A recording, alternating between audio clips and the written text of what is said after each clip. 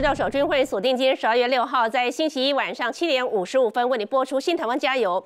国民党的立法委员协冲线哈，给立法院哈的司法委员会，你知道大阵仗，这是由招委叶玉兰邀请的检察首长在报告公投选举跟侦办，到底是为哪桩？因为一方面控告补选呢不公，一方面控告公投政治侦办，要求司法单位通通要备询，这是公然施压吗？今天邀请的，从画面当中来，你看一下，画面当中有包括了法务部长蔡清祥，包括台中地检署。检察长呢？黄蒙信到底为什么这么大阵仗，通通都给来啊？这检察官不在第一现场应该来办案吗？甚至在会声会影当中，不是让第一线好好的办贿选吗？有人说国民党司马昭之心，好，一方面要求台中纪检所检察长到立法院的报告，一方面是为严宽恒私设行堂。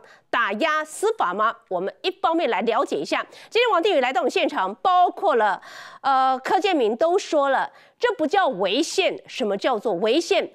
柯建明认为这是为严宽恒的选情公然施压，无亚而是无亚，甚至有人说这等于是国民党设了一个堂口护航中二选区。为什么要这么做呢？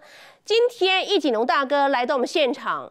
呃，依照易景龙今天所带来的一些权威分析，严清标在这两天严宽的竞选总部成立时，两个人合体了。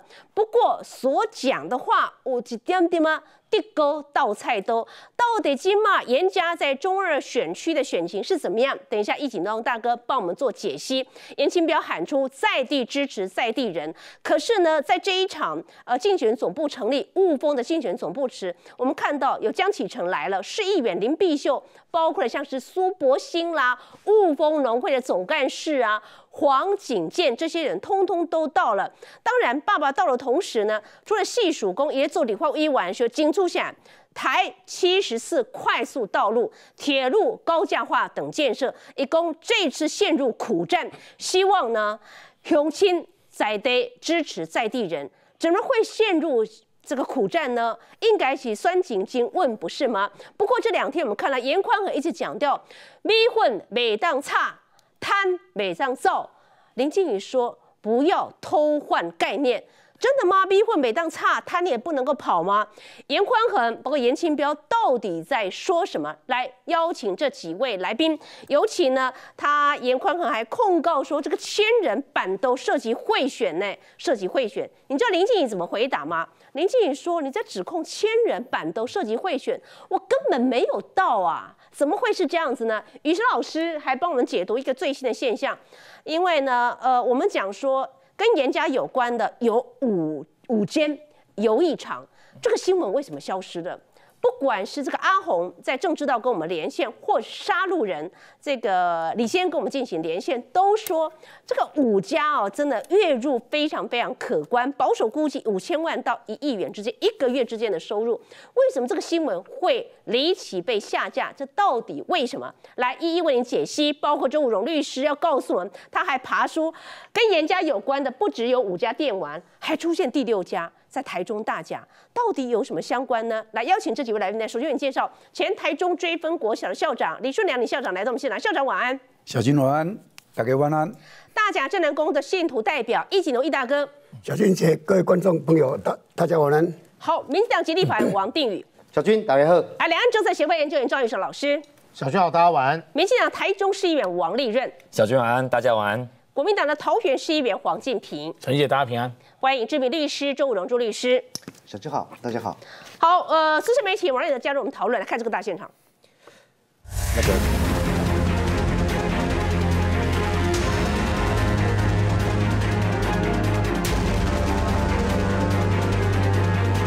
我肚子痛，休息。优先处理。政治侦办是针对严家的啊。我们随时来开会啊。送医院了。司法委员会刚召开，蓝绿委争辩不断，程序发言火药味十足。赵伟、叶玉兰干脆说肚子痛，休息离场。被邀来的法务部长、调查局等首长错愕，只能空等。民进党团总召柯建明忍无可忍，个案请他们来，当然是违宪啦。早在五号晚间，柯建明就针对司法委员会专案主题报告选举公投政治侦办争议表达不满，连出发文痛批国民党违宪，为乱而乱，背离民意，一看就是为中二选区最近间调查会严宽恒阵营，却操作为国家滥权，公然为调查中的个案在立法院施压。但是这是胡扯的，这样就算柯建明今脸书上写那个是什么东西啊？我以为他他他会来啊，胡说八说，他以为他是大法官呢。我是被挂电你他早入来。这一次如果说这样子叫做违宪，没有违宪了，就违科了。也常常在选举前后翻一些什么啊，可能。民生啊，共荣通啊，我们有看到有相关的函释解释哦，说啊这些是可以的。这个民众当然也想知道说怎么样可以遵守法律。我们蓝委把炮口对准柯建明，但陈玉珍明白说出炒米粉三字，外界认为就是冲着中二补选护航严宽恒召开的专案报告，还要求台中地检署检察长到立院报告，全部减价，提出一个散会的动议啊，说今天这个薪水小偷啊。专案主题遭指意违反中立，绿委联署提案散会，别在关键时刻影响选情。国民党赵伟叶玉兰 IP 对司法不信任，丢下一句肚子痛就不见人影，更引发争议。来，我请教王帝，这么大阵仗，通通被叫到立法院是要做什么？我们看到这是司法院的副秘书长周占春。而内政部长没有来，但是特别呃代表是政务次长花敬群也来了。这是法务部长蔡清祥、廉政署署长郑明谦，包括调查局长刚刚上任没多久的王俊立，而且他点名的其实包括了邢泰昭、台中地检署的检察长，通通被点名要到。哦国民党立法院在做什么？我先沉痛的讲哈，如果我们在台讨论台中第二选区，我们在对抗让台湾不要再走回头路。回到当年黑道治国，地方县市首长拥枪自重，仗势着人民的选票，拿到权力，包工程、买票，甚至于我坦白讲，烧杀掳掠，法律几乎都不敢碰。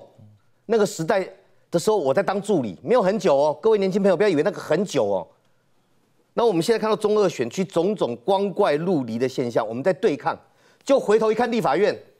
你知道，大家去 Google 一下，当年在立法委院里面就已经引起争议，就是国民党一大堆涉贪涉弊的立委，跑路的何志辉啊，一堆藏在司法法制委员会，想利用立法院的委员会去干扰个案，当年的社会都不允许，国民党现在光明正大来干这个事情。今天发生什么事情？今天司法法制委员会在立法院三零二会议室。轮值的招委主席是中国国民党不分区立委叶玉兰，他邀请了谁？他邀请的包含检察总长江惠民、高检署检察长邢泰昭、调查局哎，还有台中哦，直接到夜管台中地检署检察长黄谋信，嗯，以及调查局长王俊立，还有法务部长蔡清祥，等等等等，司法院也邀请来。那本来是可以邀请的，但是立法院有一条红线，没有人在用政治力或者委员会的会议直接讨论干涉个案，那一条叫红线，有没有违宪？哇，立他们一边怕了，量那个没有违宪什么的，请这些立委，国民党立委扪心自问，立法院什么时候可以开会直接干涉个案了？不可以嘛？二十年前、十五年前，国民党一大堆贪污黑金的立委，通通藏在司法法制。那时候国民党还知道害羞，不敢这样弄，只敢只敢那隐隐约约的借势借端。今天直接把这些，甚至于台中地检署检察长是负责承办的检察一体的检察长，要叫来立法院里面，要讨论中二选区查查贿选，可以这样做吗？他们做了。做了之后还在讲说没有啦，我在这个地方很久了啦，很久了可以这样干。然后呢，我知道状况是江惠民、嗯，邢太昭、黄谋信坚持着检察官法律人的尊严，拒绝出席。哦，OK，嗯。那蔡清祥所谓的司法行政，本来立法院约他就要到，所以蔡清祥法务部长到了，新上任的调查局长到了。另外呢，像这个。除了王俊立调查局长以外，司法院的副秘书长基于所谓的行政机关被邀请，周占春也到了。嗯，周占春，好久没看到周占春。那到了把大家绑在那里，是开始蓝绿的立委开始在攻防了。绿营的一直告诉你说，不能这样子直接干扰介入个案。蓝营的一副就是当立委最大，怀爸爸顶一被特伦。最后绿营道理讲到连记者都在摇头啊。立法院记者很多都很资深，说没有人这样做的啦。嗯我用当年何智慧的案子，是都不敢这样做。嗯，后来就提一个临时动议要处理的时候，叶玉兰突然间站起来，我肚子疼，她说她肚子痛，跑了，啊哈，绕跑到现在还没有找到人，就把整个会议丢在那里。没有宣布散会啊。有有有人这样做的啊、那那这些被被大阵仗叫去立法院司法法制委员会，这些人怎么办？主？席没有喊散会，哈，也没有处理，他们也不敢些官员走。不能走哎、哦，轻者是浪费这些官员的时间，是。重者你是把国家运作当儿戏吗？嗯，现在找一大堆莫名其妙的理由，是。明明告诉你公投法跟行政中立有法律规定，行政也就是政府是当然的法定反方，不管每天排这个国家总预算不审查，我们国防预算不审查。社会卫生福利相关的预算不审查，嗯然后排这种排这种关心个案的，然后呢，讲到说，呃，炒米粉不行，嗯，谁讲炒米粉不行？法我们选举那么久了，茶会有一个三十块钱的参考标准。是如果严宽和你们家真的是只有炒米粉、玩阿腾，是没有人讲有问题。你那个行为到底有没有违法？有人检举，司法单位就去调查，而且那个办桌啦或者相关的，人家来调查当中，国民党自己直接政治介入，所以今天在立法院，我们看到了倒退一二十年，活生生的就利用我拳头大，我是立委，我拥有政治的权利，我就可以在立法院开一个会，直接干涉个案。如果我们社会允许国民党这样做的话，嗯，我们的社会以后将是弱肉强食、特权横行的无理社会。来，我请教张玉韶，这算不算公然违宪？你看国民党的立法，你们到底在做什么呢？蔡依瑜说，你这设堂口，公然在护航中二选区。过去的国民党立法员撒布狗席要求进口中国疫苗，撒布狗席还说什么呢？还黑。高端，甚至五郎在议场里头还说要枪毙陈时中，那起码目击扯来，张宇翔怎么看？我们都知道，司法独立啊是民主国家政治制度最重要的特征。管你是五权宪法、三权分立、总统制，或是呢内阁制，内阁是行政立法合一嘛。但是呢，司法独立啊，基本上象征的是呢一个国家法治精神的最高表现。所以呢，不论是行政体系或是立法部门，自然不能针对个案表示关切。更遑让呢，大辣辣的直接在呢国会殿堂利用招委的职权呢，把这些相关的检调跟司法体系的官员请来。请问这是要做什么样的示范？请问这是想要给谁怎样的暗示？严家在当地的争议，现在呢司法体系已经侦办中了。诚如定于委员该所说的。这不是单纯的炒米粉而已。如果有人现在告诉你这是炒米粉，那么呢，也是意图干扰呢所谓的舆论的关注焦点，甚至混淆视听。在上礼拜本节目播出的时候，我就已经说过了，这里面有几个重大的争议。前面我们所谈的司法独立的精神绝对不容干涉，但是我们现在谈的是呢个案的争议点在哪里？请问它是单纯的炒米粉吗？当然不是，它已经涉及了贿选，因为超过三十块，这第一个。第二个是什么呢？这可能是严家的教招跟晚点名吧，意图使人心生恐惧，这根本也违反了选罢法，意图使人当选或不当选嘛。第三个是什么呢？我们正在质疑呢司法单位，因为我们是舆论，我们关切表达想法，天经地义。不论是执政党在野党，我们都有权利去做监督呢，跟质疑。我认为检察官在地的基本上要多加把力了。嗯，因为呢，上礼拜周律师跟我们都为大家讨论过，你是不是呢演一出戏给大家看？我们还认为现阶段呢，减掉呢查查贿选的方向呢，有他努力的空间。所以综上所述啊，我应该这样讲啊，叶玉兰委员呢，基本上丢了个烟雾弹。第二个烟雾弹呢，之前告诉大家说呢，哎，如果我再犯错，因为在气炸锅争议的时候，叶委员曾经信誓旦旦说，我如果犯错的话，我要辞立委的这个职务。可是现阶段。这算不算天大的错误呢？第二个是呢，围魏救赵，在之前这个召集这今天的这个质询争议呢，他还说呢，民进党花执政党花几亿呢，透过网军来围剿他，关注他。我真的觉得最莫名其妙的地方，当做结论啊！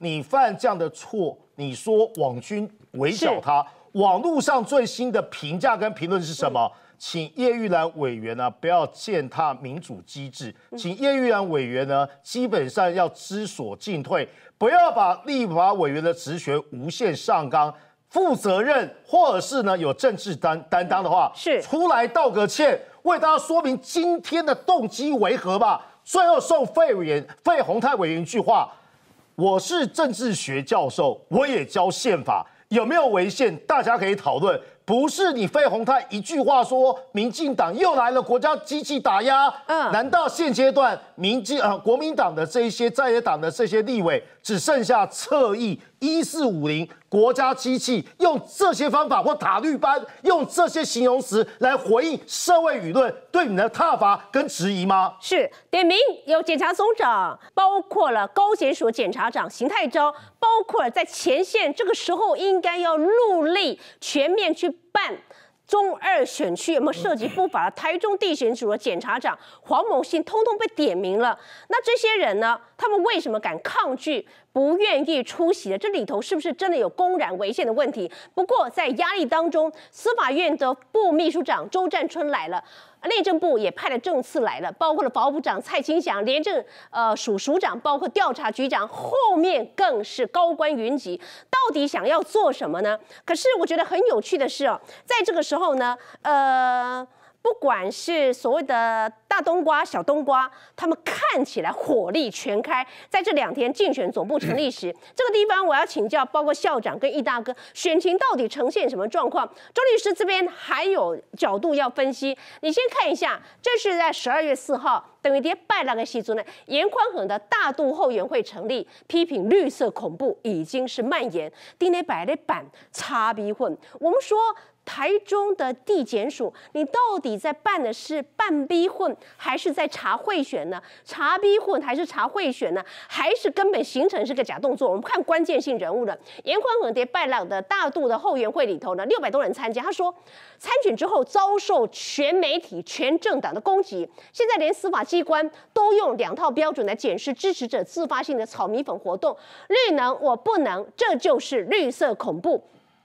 严宽很说，我们的支持者里长李明被调查机关调查两天去三个机关，疲劳轰炸让他们心生畏惧。我们的炒米粉没有对价关系，去看民进党的公投宣讲送什么？现在支持者办的欢乐个被戏，法律没有一致性，要叫老百姓相信谁？这严宽可能得办了供的哦。吼，那甚至我看叠涨的时阵，涨起雾峰的竞选总部的成立，再批评。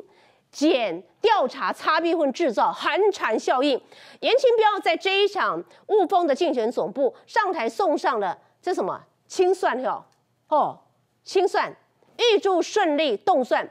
严宽恒除了细数之前担任立委时对于雾峰的博坎山沟的整治，对于乌日雾峰支持里长举办座谈会时，因为餐点太丰富被剪掉约谈，所以批评是制造寒蝉效应。今天会场没有准备擦逼混控吧，不过还是有炒面跟菜桃鱼丸汤。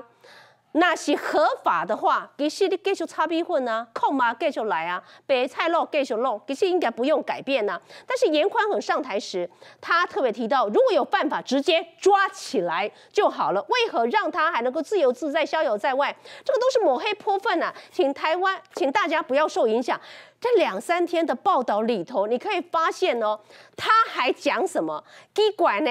离山，我们明明讲离山是什么？离山是募款参会吧？是不是？离山不是这种吃到饱的可是严宽很又说，二零一八台中市长选举同样有擦逼混，甚至有梨山，还有龙虾、沙西米，为何他的支持者在地方擦逼混就被派出所去调问呢？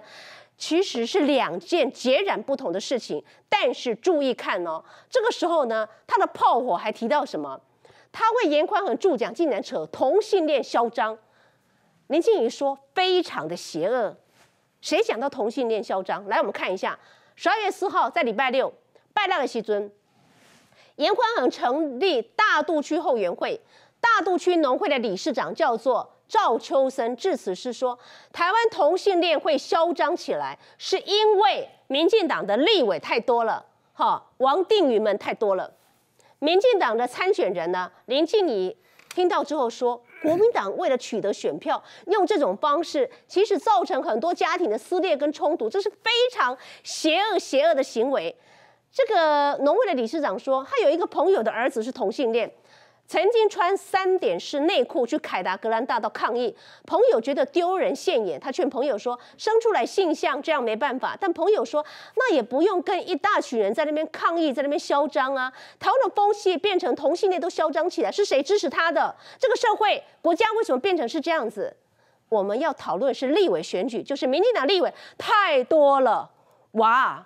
来，我请教是校长，现在到底是一个什么样态势呢？校长，这赵秋生吼，霸王的我熟悉足久的啦，几啊十年啊，伊长期拢是农会的理事长或是监察人，就是常务监那个监察。嗯，迄个因的堂弟就是即卖农会总干事那个。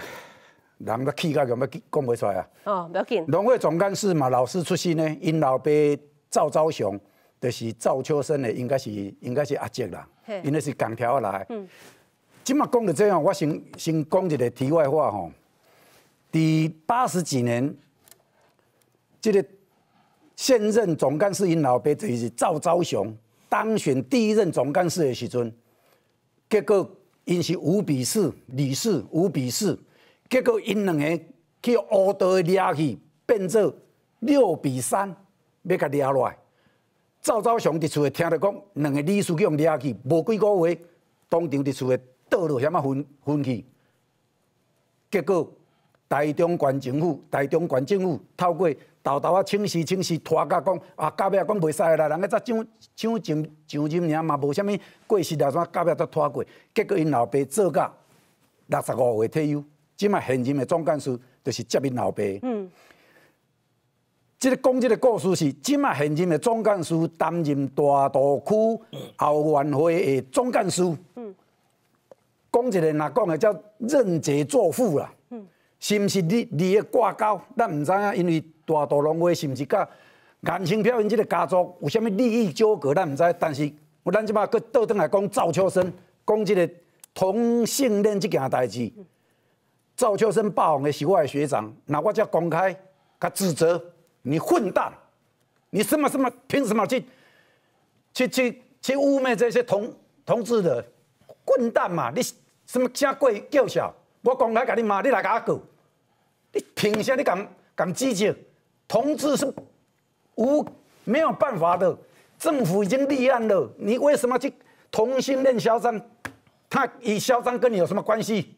所以这是霸王的哦，这嘛拢利益结合啦。这咱讲起来是足痛心的，大多即嘛沦为变成共款啦，用要黑道在在那边把持了啦。啊，所以我讲讲来讲，咱政府啊，这立法委员伫遮，我即嘛要搁甲你吐槽的，农会法为什么不改？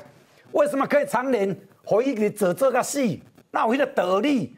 因即嘛把持拢用选举的嘛，以前一票选到偌济，农会代表一票，阮迄阵的为着一个代表一票要说到。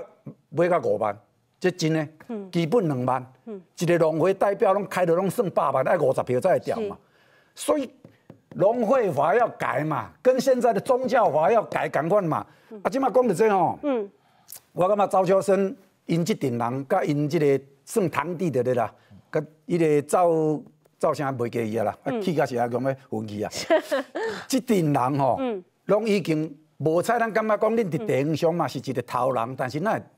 讲一寡即种话，为着支持恁的利益感情是甲伊绑甲较死，你无想着讲恁恁这啊当时去安尼，你查一所含农会理事长啦上监，你拢无通做，啊你即马呢，搁咧支持，我看袂落，好，看袂落去哈。呃，来我请教易景龙大哥哈，这是什么样的态势？我们拿到在今天，呃，刚刚丁宇特别帮我们解构，在司法法制委员会呢出席的列席的政府官员名单。啊，叫这样人是不是冲起来？你要让这些人到前线去办贿选啊？马博、严家、严家，说真的，严清标可以带着儿子严宽恒去镇南宫去救抓吗？我们严家选举一票通通不会买，去救抓，应该可以取得更多人的相信吗？敢不敢做这个动作呢？可是从法务部长，你看哦，检察司司长，哎，点名呢，这些人通通来呢，这些人来了，包括了我刚刚说郑明谦。检察总长请假，好，这个高等署，这是黄慧明，包括了邢泰昭嘛，哈，还有台中地检署黄某信请假，其他人通通来了，周占春，还有刑事厅厅长也来了，中选会庄国祥也来了，法务部长蔡新祥我们也看到了，为什么？来，现在是易大哥严家的选情出现的，你所讲的化学变化吗？地方出现这些行为，到中央立法院，哎，归托拉库宁愿公然违宪，那你怎么看这个态势呢，易大哥？好，这就是我一开始一直担心的哈，这场中立府的选举哈，啊，要改变终结台湾的乌金政治哈，啊，中立府人想要改变哈，绝对袂使输一个会选的想诶。袂使为了即场选举，搁输一个会选吼。所以讲，我进前的一直写一张碑吼，想办法要互蔡咱的蔡蔡部长、蔡成祥部长吼，就是讲因中立区甲因交接，前情调甲因交结，接亲的情形之下，直接办不出什么名堂啦。吼，就无啥物。所以讲，请咱的蔡部长指挥蔡笔，迄个蔡笔长啊，你来台中指挥，吼，造法度一场选举真公平，吼你。票啊！恁兜人无会选，我行你公道。吼，以后以后就甲你漂白，无人个讲你会选啊。吼，无人个会选。所以讲吼，咱会看出讲，今仔日但是因若无会选吼，只有是因都毋知要安怎选举啦吼。因都长期来因一直无转型吼。啊，这就是公然吼，公然自遐吼，你甲施压吼，你施压吼，施压你看，你逐个拢你目睭睭，逐个拢看会到吼，逐个拢看会到。所以讲，咱咧担心这，啊，这嘛是会当看出讲人家伊的选举吼。已经拄啊！你讲化学变化吼，已经化学变化，伊已经是无在稳赢的吼，伊真担心吼。啊，伊搁其他袂晓选，人选嘛输人吼，啊袂晓选，啊嘛无得抵抗民意。至于讲要用伊的手段吼，过去的手段，要搁淡仔武，要甲武好会赢吼。啊，认为讲这会受到阻碍吼，会受到阻碍。啊，所以讲伊今仔日逼到跳墙吼，逼到跳墙。啊，要做这个，要要做即个动作吼。啊，今仔日讲到选情，我会当甲你讲吼，林正义的选情吼，理想吼。接受到这个民意，因为经民意安尼平稳吼，咧选举吼平稳咧选维持维持一定的支持度在上升之中吼，上升之中。啊，你眼家吼，只有你规工负面的遮多，你敢若背背袂离吼，背袂离。你是半夜吹少吹吹吹少壮胆，还是啥？你认为你条，其实你心内有数吼。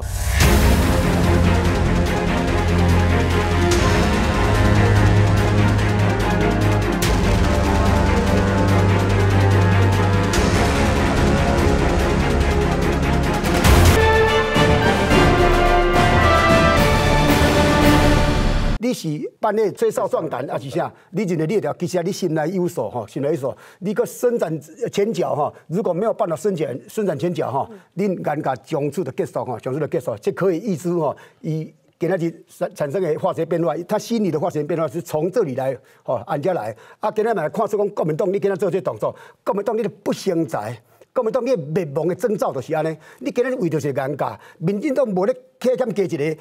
国民党你嘛无咧客检加一个，问题是讲你的素质，这个人有法度互代表你国民党，尤其是国会议员，吼，国会议员代表讲说，专门要甲你看你摆什么菜出来，以后你的政党要生存就是安尼，诶，啊，你今仔日规个党甲停落要停一个尴尬，啊，你说党一定爱亡的，哦，绝对爱亡的，毋是尴尬，你落选啊，绝对爱亡的。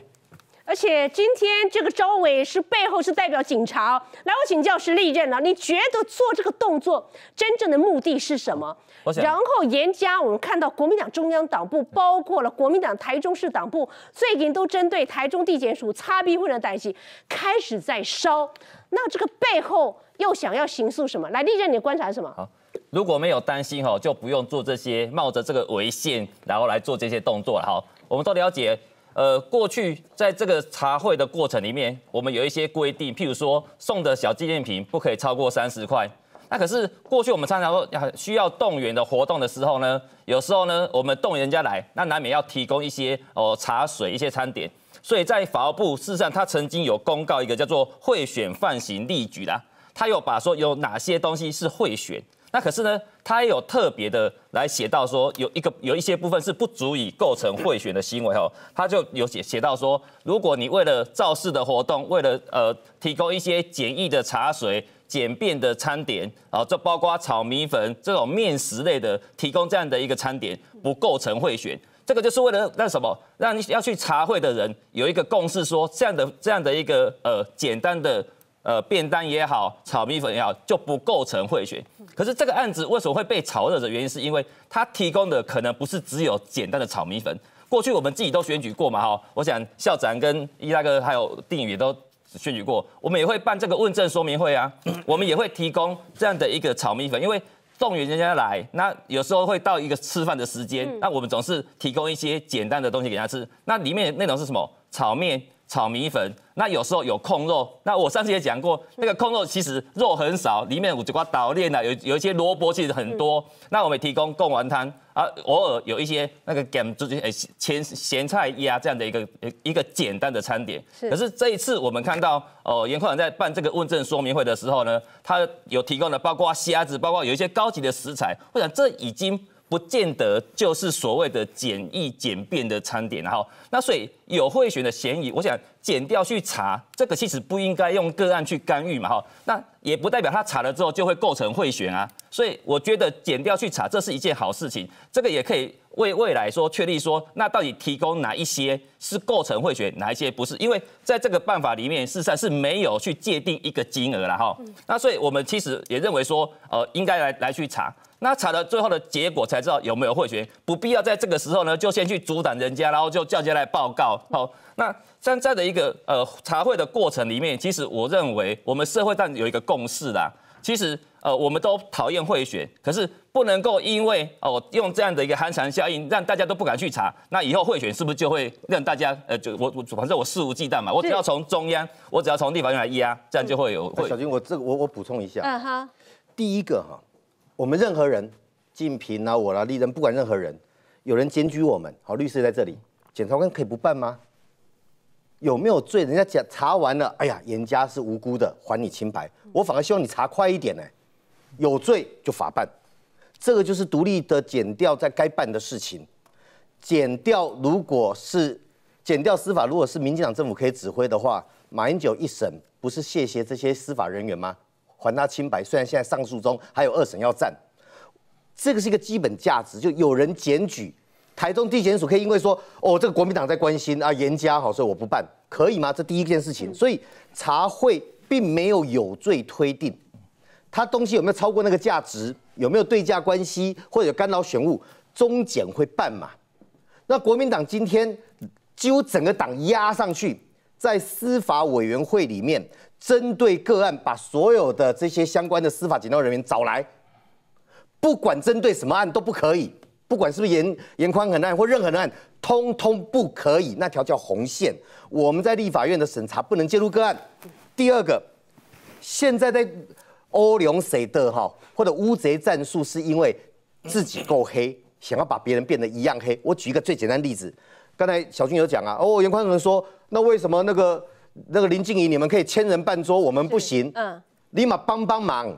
那个办桌的单位叫做保生大地总会，好，你今嘛被他波形逮逮哈。嗯，来这对哦，保生大地总会会员大会，会员大会办了之后，千人在那边吃饭，难道有去跑拖的人？这个餐会都是为他们办的吗？嗯，你现在是严宽恒在直接检举保生大帝全国总会吗？嗯。第二个，林静怡那场连去都没有去，耶。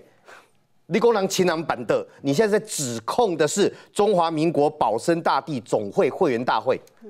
我们民意代表，我们会去跑很多场合，工会、职业工会、产业工会、庙会，大家都会去，不会因为我去的那个场合的伴奏就是为我而办的，这根本乱讲。最后一个他讲说，哎呦，现在都不准人家跑脱了，不准那个插逼混啊，谁不准你跑团啊？卡勤的啦，卡领金照哎，谁能够规定不准跑摊？招摊哈，随你介意。第二个。如果是一个法律都讲了，你就是一个炒米粉，简单办活动和打给来，有没有违法？检调会判断。规定他不能炒米粉吗？没有啦，现在我讲，现在我如果是严宽恒法说，来欢迎检调来查，你赶快最好明天查出来是不是明我没有会有，一句话母西啊，不止自己在这边跟他惊掉，国民党全党竟然在立法院伤害国民党的形象，只为了帮一个严家。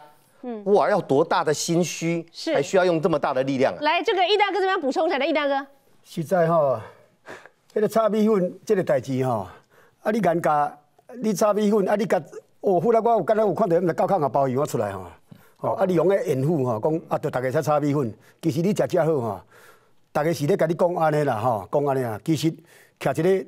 我甲看林正义因的电影也是民主党也好，并无去甲你讲你炒米粉的啥物代志啦吼，只是你社会观感无好，即即即个节目中有人会甲你检视，即即个问即个问题啦吼。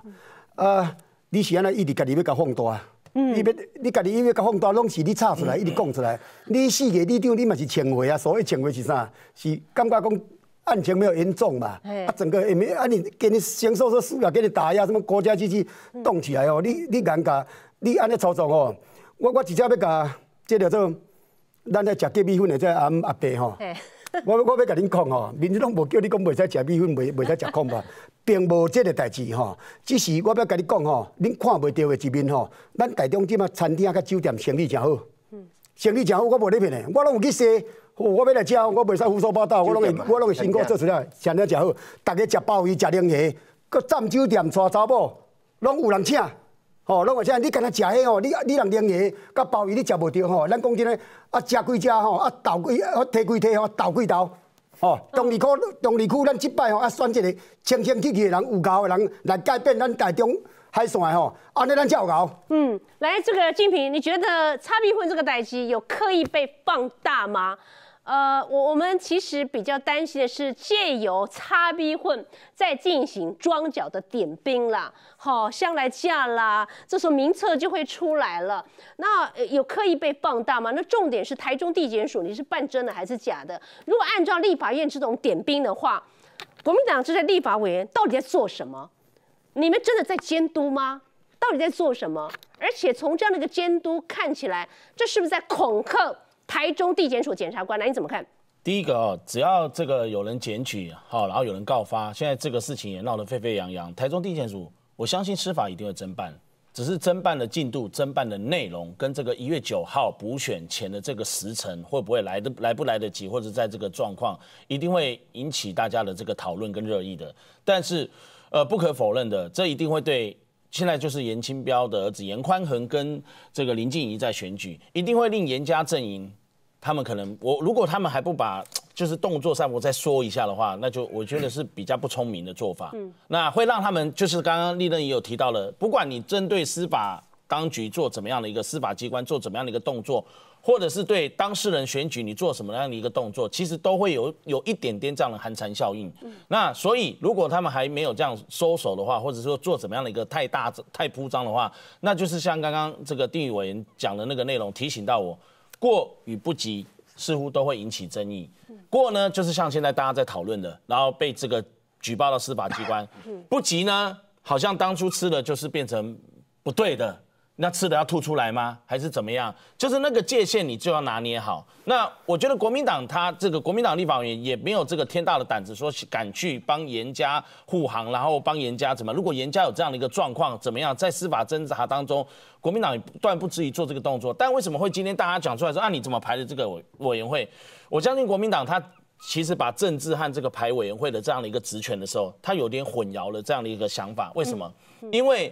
当你觉得痛恨民进党，或者是觉得民进党就是这样双标的时候，所以他把他的这个司法法制委员会的题目，我念给大家听：司法不可双标，行政必须中立，补选、公投、政治侦办。他的题目是这样的一个委员会的这个报告，并被质询。嗯，首先我为什么念这两句？司法不可双标，行政必须中立，听起来是不是像记者会的那个海报的标题？嗯，你拿来放在立法院，我也跑立法院十几年。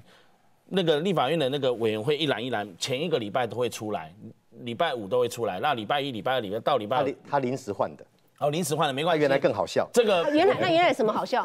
他说原来的题目更好笑，原来题目原来愿意来要讨论行政中立哈，那他要邀请的所谓的专家是侯汉廷跟罗志强。啊，专家哦，专家啊，行政中立的专家哦，一个是政党的极端，而且是国民党革十院之前当院长。这两个能能谈什么行政中立？题目是这样吗？不，他题目他题目都像标语一样了，所以都在讨论行政中立，找这两个专家。国民党立法委员是怎样？都专门来摧毁国会、来乱台湾的吗？这个叫监督吗？不知道是叶玉委员还是他的国会办公室，因为你要帮这个招委拟定这个题目报告嘛。以前我也常到委员办公室去问下下一个这个礼拜的这个招委的题目是什么，排的是什么东西。是，所以我常会讲说，你要选民进党，我相信国民党会气成这样，会想选民进党，但是学的不好的话。就会出现这样的一个反学民进党，我我我提供正确。学民进党公然违宪吗？民进哪里有公然违宪？学民进党之后，我举一个例子：二零一三年、二零一四年，先讲二零一四年，类似当时司法法制委员会尤美尤美女委员，她排过类似的这个报告，可是人家的报告题目我念出来，我真的还觉得很难去挑剔。他当时邀请法务部长率同调查局长、廉政署长、内政部警政署署长、中选会副主委就。